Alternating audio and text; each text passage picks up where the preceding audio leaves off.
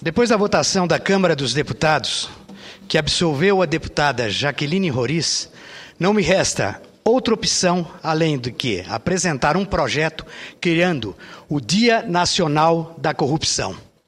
É isso mesmo. Está na hora de criar esse projeto, o Dia Nacional da Corrupção, a ser comemorado anualmente em 30 de agosto.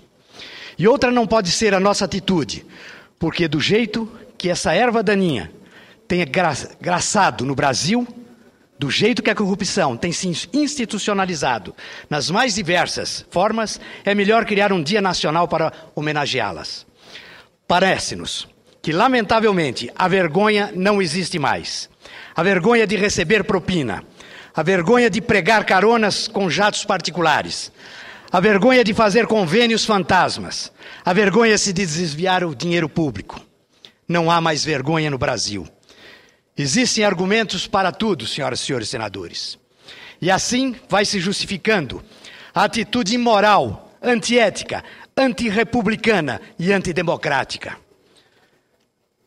Senador Álvaro Dias, veja que nem mesmo vídeo periciado pela Polícia Federal e comprovadamente verdadeiro, nem mesmo as imagens de uma candidata a deputada distrital, juntamente com seu marido, recebendo dinheiro ilegal para financiar a campanha.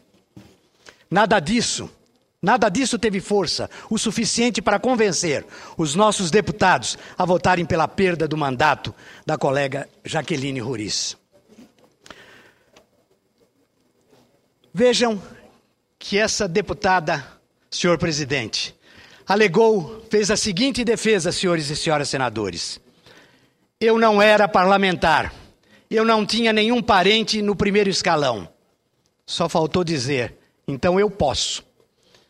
Prepare-se, que quando terminar o seu mandato, ela vai fazer.